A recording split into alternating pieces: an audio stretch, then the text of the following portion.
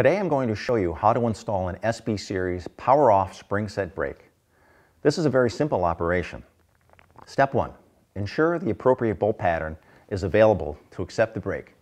Typically the brake will be mounted on a back end of a motor, support end of a ball screw assembly, or other mechanical device machine that requires braking in the absence of power.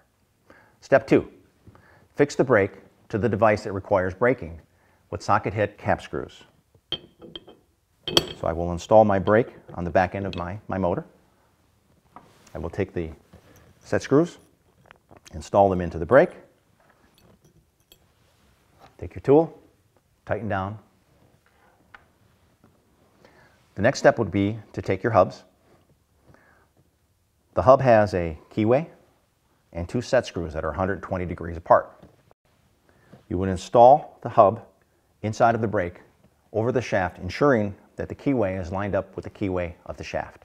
Tighten down the set screws after you have pulled back the hub by approximately 10 thousandths of an inch. The last step would be to take the lead wires. Being this is a DC device, the polarity is not important of which way you hook up the two lead wires. You would put those into the power supply of your device.